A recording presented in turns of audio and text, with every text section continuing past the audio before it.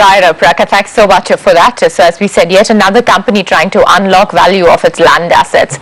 But for now, let's focus back on earnings corner. And Idea Cellular has just released its numbers. The management speaking on the quarter. Let's listen. Idea is now enjoying. On an overall basis, Idea is happy to announce that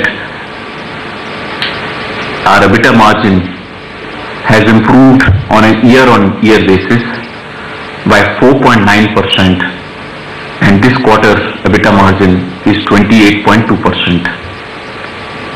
The factors which has helped a 43% improvement in EBITDA are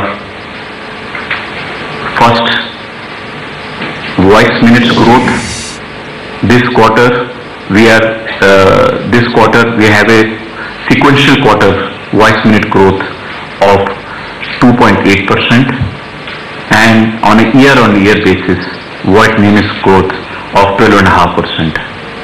The second factor is data volume growth.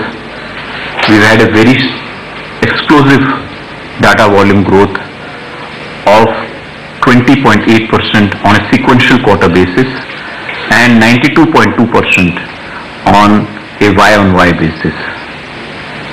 Besides volume growth, the other factor which has helped improve margins has been improvement of uh, average realized rate.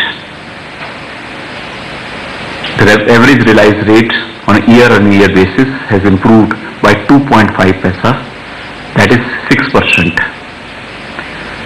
The average realized rate for Idea Cellular now stands at 43.7 paisa per minute. Average realized rate is a combination of both voice and data business. In terms of voice, there has been improvement in average realized rate as the company started a program in the last quarter Okay, so that was the idea cellular management on the quarter gone by. Well, that, we'll wrap up uh, Reporter's Diary, but more from Earnings Corner and, of course, how the day went on the street. Up next on Markets Today. Still.